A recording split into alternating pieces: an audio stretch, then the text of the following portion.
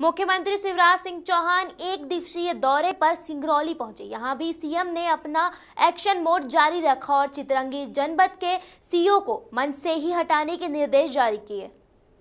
इस दौरान सीएम शिवराज ने ऐलान किया कि चितरंगी में मिनी स्टेडियम बनेगा। वहीं दूसरी तरफ़ चितरंगी के नए कॉलेज का फीता काट कर शुभारंभ किया गया। चितरंगी जनपद के सीईओ की शिकायत पर तत्काल उन्हें निलंबित कर दिया गया। सीएम ने कहा कि जनपद सीईओ सुलाभ सिंह की शिकायत आ रही है। मैं उन्हें तत्काल प्रभाव से हटाता हूँ। इसके बाद मुख्यमंत्री ने हितग्राही मूलक योजनाओं के उपभोक्ताओं को प्रमाण पत्र वितरित किए।